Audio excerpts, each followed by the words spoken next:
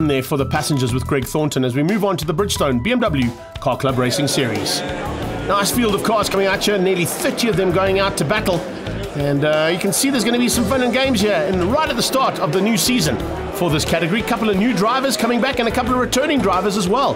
And as they make their way out into the track for the very first time in 2020, expect some big battles in the five classes that run in this category.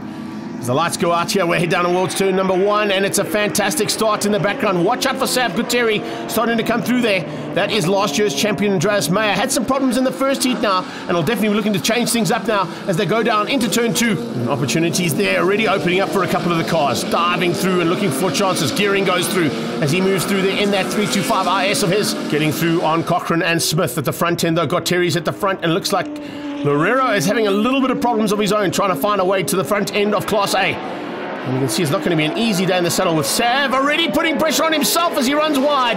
He gets out of shape and onto the dirty stuff. Comes across and cuts off Dino Familiaris. Familiaris very lucky to avoid the returning car there of Sav Gutierrez.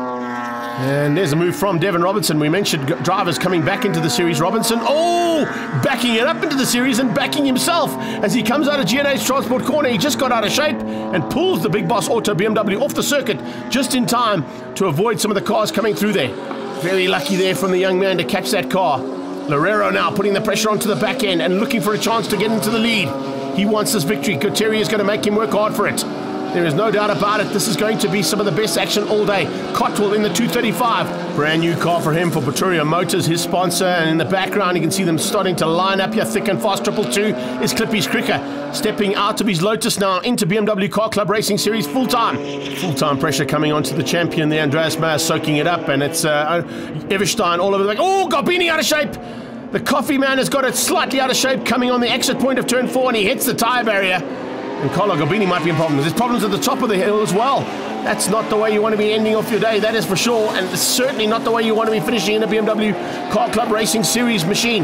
Devin Robinson's already had problems of his own. He looks like he's pulled into pit lane, but the pressure's on at the front as Lorero starts to put the pressure onto the back end of Sav. Class A in the mix and down into turn two they go. Rick is looking dangerous. Can he find a way past? Or is that Royal Purple and Sav Speed BMW going to keep out the man and hopefully take the victory.